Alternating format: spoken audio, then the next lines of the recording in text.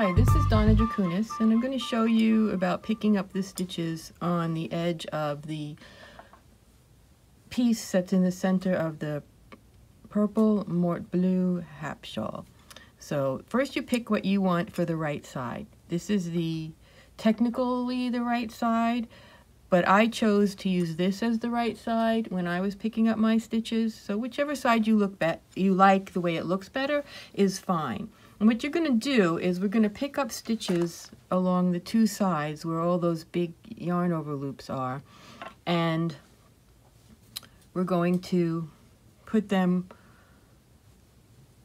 onto a circular needle. I'm not using one here because I just have a swatch, but we're going to pick up and knit stitches on a circular needle because this is going to get longer and longer as we knit out the piece. So all you're going to do is you can tie the, this on to your scrap yarn if you want, but you're just going to go into the loop and pick up, knit up a stitch. Into the loop, pull up the yarn for a stitch. And you're going to do that all the way down one side. And I'm going to keep going because I don't have that many stitches. Because when you get to the center, you're going to have to knit up in those three cast on stitches that we had at the beginning. I think I'm falling off the edge of the video here. So when we get down to this edge, we're going to pick up and knit three stitches along the bottom edge, just like that. And you'll notice I go under two loops when I go under the bottom edge, makes it stronger. But when I go up this side, I'm just picking up in each of these loose loops. Now I want to show you what happens when you get up to where you changed colors because it gets really messy and that's okay. So I'm almost up to that.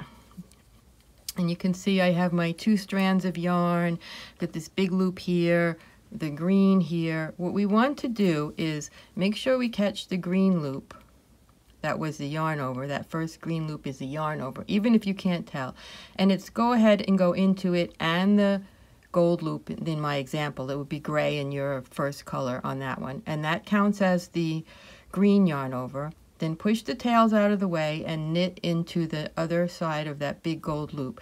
The reason you get the big gold loop or the big gray loop as it will be in your uh, main color is that you carried that yarn up an extra row when you knit this row and you don't have to worry about it what it looks like at all you won't really see that at all when you do the shawl knitting and when you weave in these ends you can tidy up anything that looks a little funny but we'll look at that at the end of the project. That's it for getting started on this shawl.